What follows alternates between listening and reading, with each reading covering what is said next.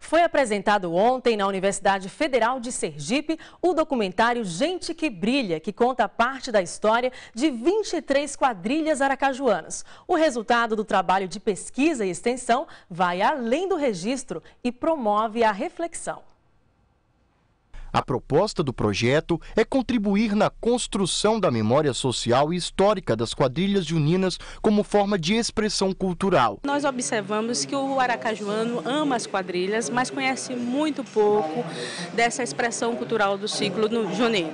Então nós temos um compromisso enquanto cientistas sociais de abordar e de tratar os fenômenos culturais não de uma perspectiva apenas folclórica, né?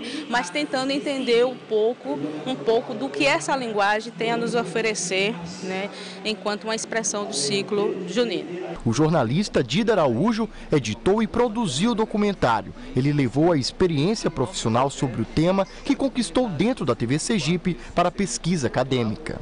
Eu comecei com o Levanta Poeira e esse projeto Levanta Poeira foi o grande responsável pelo pelo fortalecimento do segmento da quadrilha junina em Sergipe como um todo. Como a professora sabe que eu tenho essa ligação muito forte com as quadrilhas, ela me pediu ajuda e na verdade ela me premiou, né? Primeiro que eu estou perto de uma pessoa muito conceituada aqui na universidade, uma doutora preparadíssima para essa área de, de cultura popular e estar fazendo parte do, desse projeto foi muito interessante, uma honra para mim, enquanto editor e admirador das quadrilhas juninas. O documentário reúne representantes de três gerações de quadrilheiros para contar um pouco a história das quadrilhas juninas aqui em Aracaju. O trabalho apresenta depoimentos relacionados à experiência viva e concreta dos protagonistas. É uma honra, né? um grande prazer para a gente que trabalha com a cultura popular né, quadrilha junina em específico, uh, ter um documentário que vai ficar aí nos anais da história, que vai ficar para o Brasil todo, para Sergipe todo, para todos os estudantes,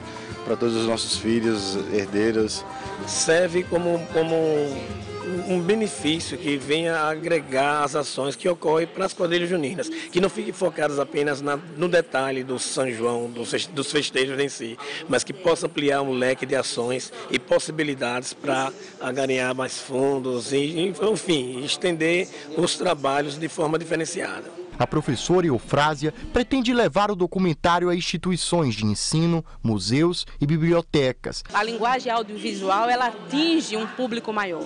Então, com esse recurso, a gente pretende ampliar o debate né, e chamar a atenção né, das secretarias de cultura do nosso estado para a necessidade de políticas culturais é, direcionadas para essa expressão tão emblemática desse São João que é extremamente musical.